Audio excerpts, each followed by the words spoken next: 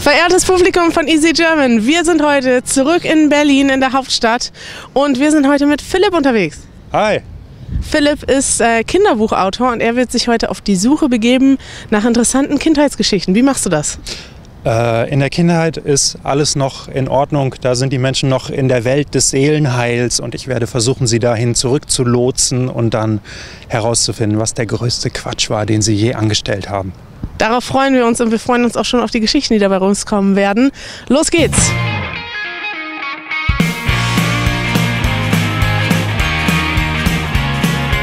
Was der größte Quatsch. Um Gottes Willen. Hm, meine Kinder sind dabei. Normalerweise müssen die erst weggehen. Die müssen sich jetzt die Ohren zuhalten. Der größte Quatsch war, glaube ich, ähm, bei meinem Elternhaus oben auf dem Boden ähm, mit dem Reddachhaus ähm, Feuer zu machen. Äh, ich habe mal mit Pfeil und Bogen äh, den Pool von meinen Nachbarn kaputt geschossen.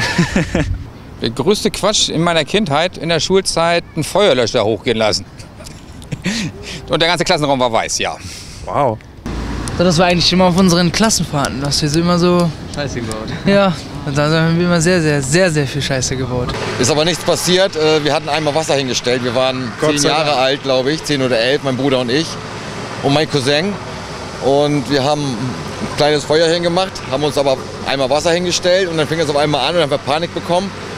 Und ich glaube, mein Bruder hat dann Wasser einmal rübergegossen. Natürlich alles verqualmt und dann sind wir ab, abgehauen erstmal. Was haben Sie angestellt? Naja, wir haben in der Schule die Toilette auseinandergenommen. Es wird ja immer wilder. Die Toilette auseinandergenommen und dann stand alles unter Wasser. Ja, ja, während eines äh, Klassenfestes, ja. Vor diesen Leuten muss man sich in Acht nehmen. Dankeschön. Wir haben hier unter den Linden äh, Party gemacht und getanzt und da kam die Polizei und hat uns mitgenommen, damals zu DDR-Zeiten. Den ich in meiner Kindheit, und das kann ich von meinem Kind aber gar nicht sagen. warte mal, warte mal. Halt du dir mal kurz die Ohren zu. Muss, nee, muss ich mal kurz überlegen. Das, oh Gott. Äh, nee. Was war der größte Schaden? Der Schaden war ein kaputtes Auto. Was ist da passiert? Ja, da möchte ich nicht darüber sprechen. Gut, danke. Nee, wir hatten mein Auto angehoben. Die waren ja leichter damals zu viert in den Vorgarten gestellt. Und dann eben natürlich getürmt. Und wie der rauskam, stand sein Auto im Vorgarten. War ja nur so hoch, halben Meter hoch. Zu vier, zu fünf haben wir es geschafft. War ein kleiner Trabant ja nur, der war ja nicht so schwer.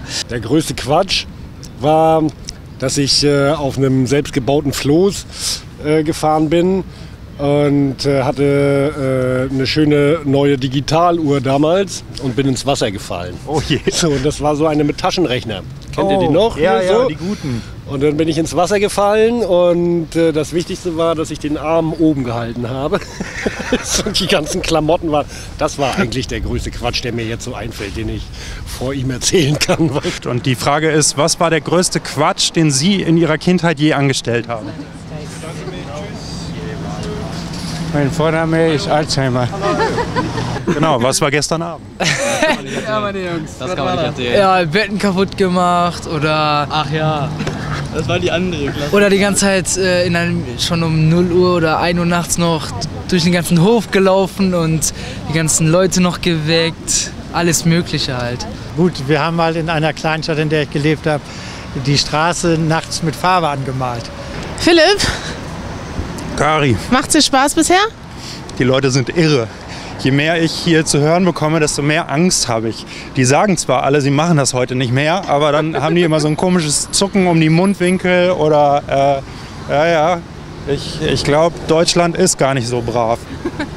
Hast du schon Quatsch angestellt? Ja. Irgendwas, was du vor deinem Vater erzählen kannst? Soll ich mal weggehen? Ich gehe mal Nein, weg. brauchst du nicht. Äh, äh, mit meiner Mutter mal und meiner Freundin Klingelstreich. Nee, ich und meine Freundin, wir haben bei meiner Mutter einen Klingelstreich gemacht. Und irgendwann kamen meine Eltern nach Hause und haben das gerochen natürlich. Ähm, wir haben aber keinen Arsch voll bekommen. Also wir Glück haben gehabt. groß Mecker bekommen, aber keinen Arsch voll. Das war, glaube ich, das Schlimmste, was ich gemacht habe. Was war der größte Quatsch, den Sie je in Ihrer Kindheit angestellt haben? Darf ich auch? Klar, du darfst auch erzählen. Ähm, äh, Was war der größte Quatsch, den du je gemacht hast? mit dem Fahrrad oder einem Freund? Ach, ich bin, ich bin mit meinem Freund einfach so zu einem Laden gefahren.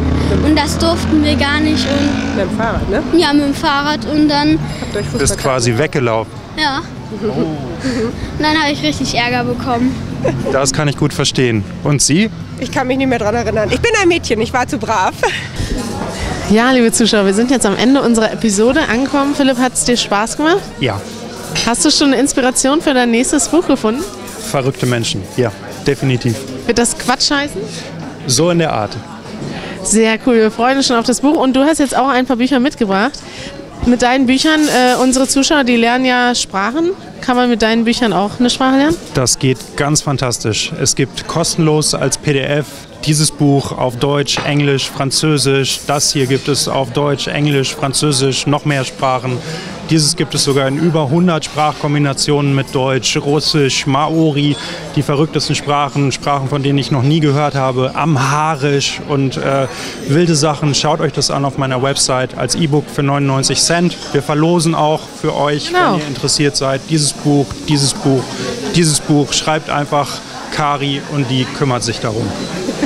so läuft das, genau. Aber du bist tatsächlich spezialisiert auf Bücher in äh, bestimmt in, in Kinderbücher in verschiedenen zweisprachigen Kombinationen. Ja, das hat sich entwickelt. Im letzten Jahr habe ich da ein sehr großes Projekt gemacht, weil das mir ein Anliegen war. Ich bin mit drei Sprachen früher groß geworden. Meine Oma hat Plattdeutsch gesprochen, meine andere Oma hat Italienisch gesprochen und irgendwie, ja. Das ist sehr cool. Ähm, diese drei Bücher hier, die verlosen wir an euch. Und ihr müsst einfach nur eine Sache tun. Ihr müsst uns eine E-Mail schreiben an info, info at easylanguages.org, wird auch hier eingeblendet. Und äh, sagt uns, warum ihr dieses Buch haben möchtet. Und dann ist es vielleicht demnächst schon eures. Herzlichen Glückwunsch. Super. So machen wir das. Wir freuen uns super, dass du mitgemacht hast. Wir hoffen, dass du nochmal wiederkommst. Vielen Dank für die Einladung. Das wäre echt toll und wir sagen Tschüss und bis zum nächsten Mal. Und wenn ihr mehr Easy German gucken wollt und mehr Deutsch lernen möchtet, dann subscribt äh, unseren Channel youtube.com slash learnlanguages. Danke fürs Zusehen und bis zum nächsten Mal. Tschüss. Tschüss.